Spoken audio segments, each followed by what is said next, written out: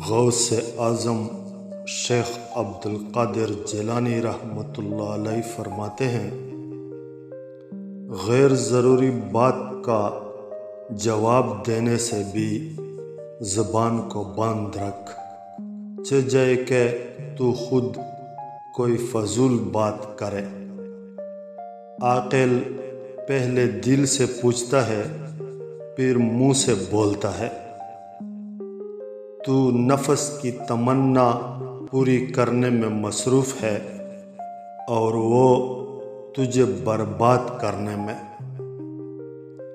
हमारी गैबत करने वाले हमारी फलाह हैं कि हमें खराज देते हैं, यानी अपने तमाम आमाल साल हमारे नाम मुंतकिल करा देते हैं।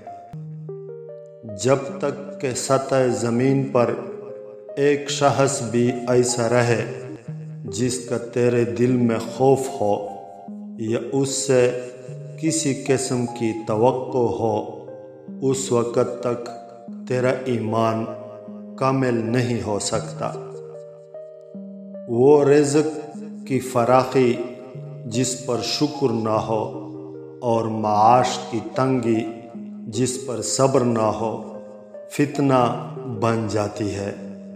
जो नफस को दोस्त करना चाहे, वो इसको सकूत और हुसन अदब की लगाम दे। अफलास गुनाहों से बचाता है और तवंगरी मासीत का जाल है। अफलास को अपना मुखाफ़ ख्याल कर।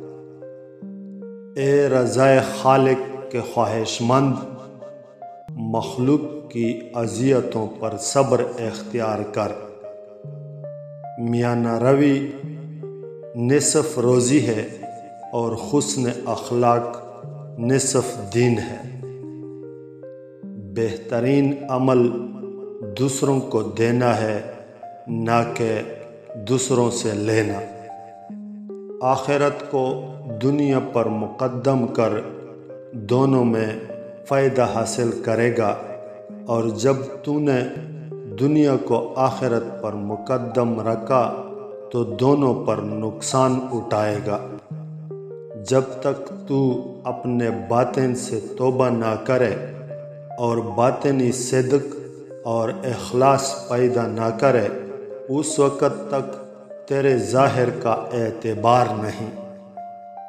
जिस कदर बंदा अल्लाह के सामने झुकता है और जिस कदर उसके सामने आजजी करता है, उस कदर अल्लाह उसको बुलंदी अता करता है।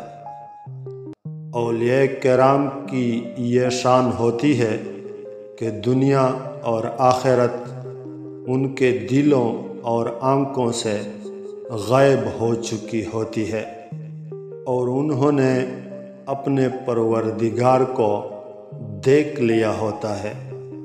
बस अगर वो तुझे देखते हैं तो तुझे नफ़ा पहुंचाते हैं।